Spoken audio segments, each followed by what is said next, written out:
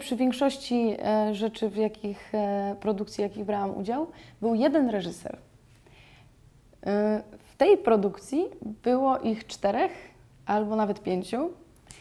I bywało, że przychodziłam na parę odcinków i każdy odcinek miał innego reżysera.